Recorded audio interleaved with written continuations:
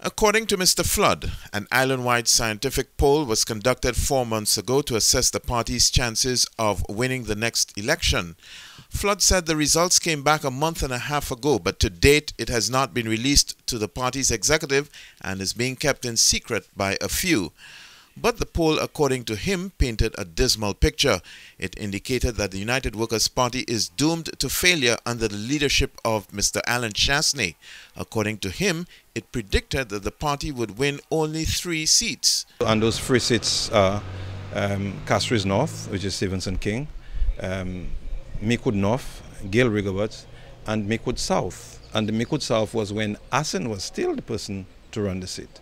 Um, now this having changed in, in I, I don't know. I don't know what it will be. Mr. Flood says the time has come for the results to be made known to the UWP executive so that the party could take proper decisions on the way forward.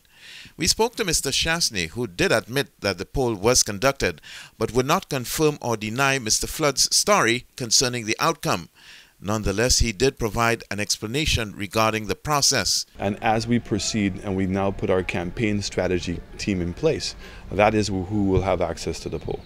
Um, and as we proceed with the nomination of our candidates, part of the process has been to pull those potential candidates so that when the National Council is making the final decision, that they'll also be armed with the scientific approach to this. Mr. Flood believes that if the party does not take drastic measures now to change its fortunes, both the party and St. Lucia as a whole will stay, to use his terms, in the quagmire that it is right now.